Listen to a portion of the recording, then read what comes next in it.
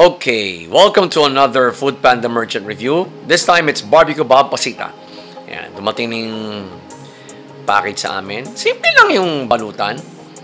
And, well, pang student meal yung yung pagbabalot nila. Pero, ang kainaman nga lang dyan, chop na. Hindi ko siya binigyan ng instructions. Yun ang kabutihan nila dyan.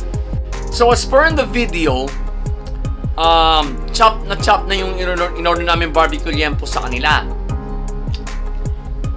Let me repeat, hindi ko sila binigyan ng special instructions tungkol doon.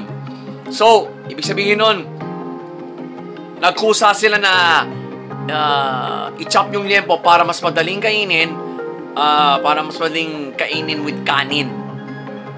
So, ano rating ko?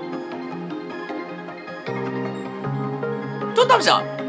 Kung gusto nyong matikman ang barbecue papasita at syempre dapat tiga San Pedro kayo. I got a special Food Panda link. Link is in the description.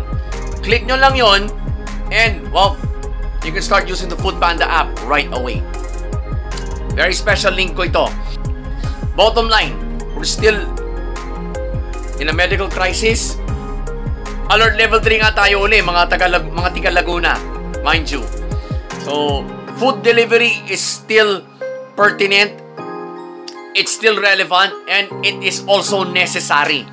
Kaya, if I were you, I'd get into food delivery.